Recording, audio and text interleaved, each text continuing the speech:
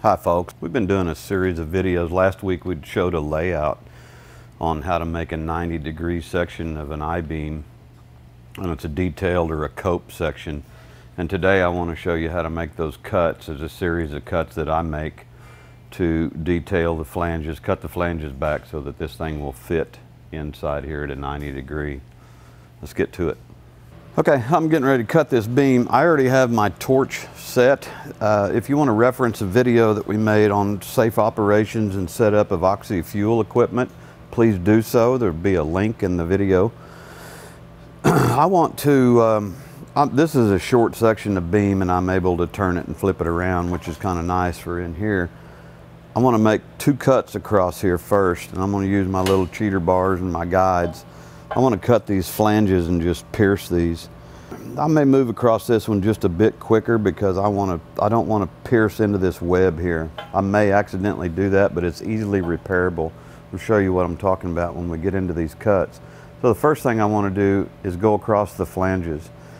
I've laid this out so that this is my length in here.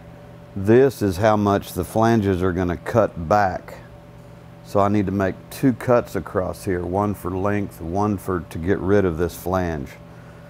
So, and it doesn't matter which one I make first. I'm gonna go ahead and start with this one here. So I need to get my safety gear on, light my torch, be right back. Okay, I'm gonna go ahead and wear my Sentinel hood set to a grind mode today for the dark shield. I'm also doing something a little bit different here. I've let, in the, in the other series where we made the straight cut and squared up a beam, I cleaned all the mill scale off and everything. I'm gonna cut this one dirty. I'm just, it's just how the beam came in here. It's got the rust and mill scale on it. I laid it out over the top of it. Uh, I'm just gonna go ahead and cut this one dirty. So you may see me checking my flame condition every now and then. If a piece of mill scale comes off and pops, which chances are it will, because it always happens to me. I screw up in every video. Then it'll change this flame condition. You may see me stop and clean my tip. So. Anyway, we're going to cut this one with the mill scale. I'm going to light up for a neutral flame. Again, my pressures are set. This is a aught tip. I'm setting it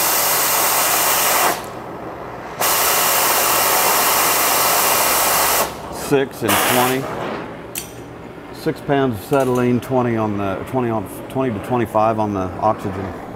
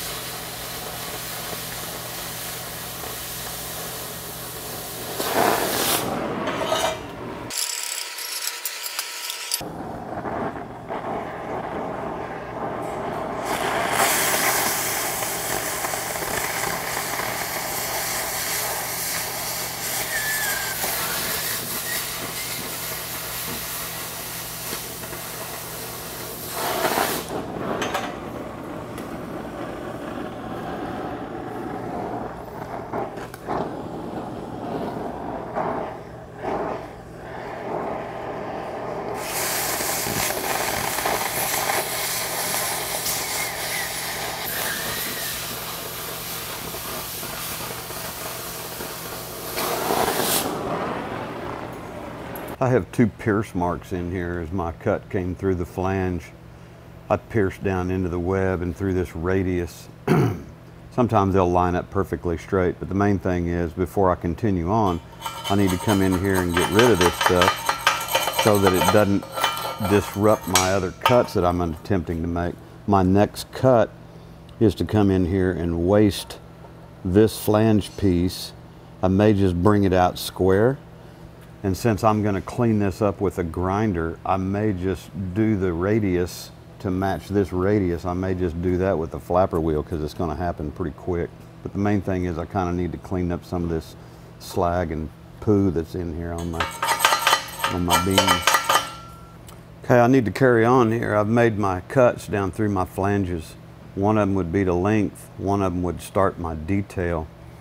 What I personally like to do, what's worked best for me for accuracy, is to, and some of you may comment on this, that this is a, it's an unneeded step, but the problem that I've found is we have this radius in the beam, and sometimes those radiuses don't like to cut. I have the benefit that this is already kind of preheated. What I personally like to do is come in here and lay this down. This is a waste piece anyway. I like to lay this down and quickly snip that off and then I can come in over the top of it and it's like I can use part of that radius as a preheat edge and I can get accurate. I don't want a lot of slop in here. I don't want it to fit super tight, but I, you know that would be an that would be accidentally great. But I like a little bit of gap in them. So I want to snip these in here first, then come over the top because this piece, this part that I'm getting ready to, this final cut is critical for dimension.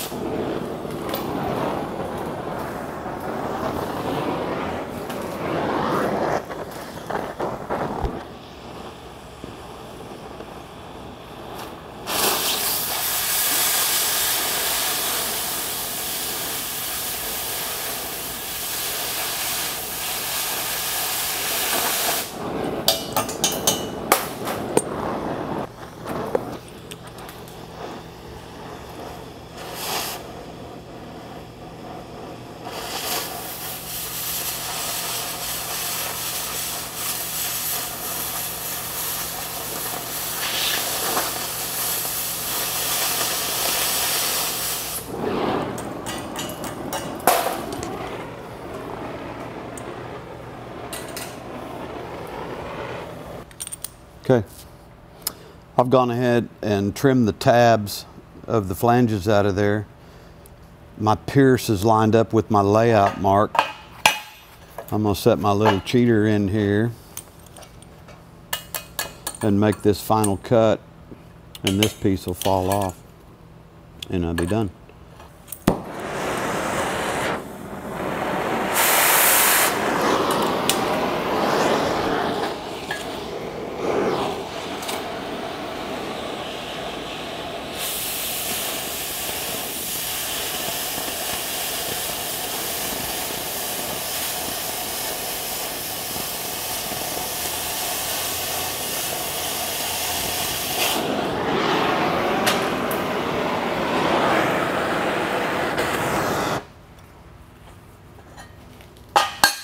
And that's that.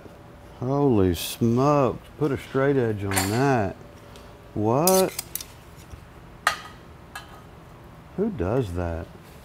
Okay, now it's on to cleanup, which will be fairly quick. I'm gonna use a flapper wheel. I'm gonna take the web and detail it and I'll go ahead and manually put the radius in there and we'll bring it back over and set it into this beam and see how it fits.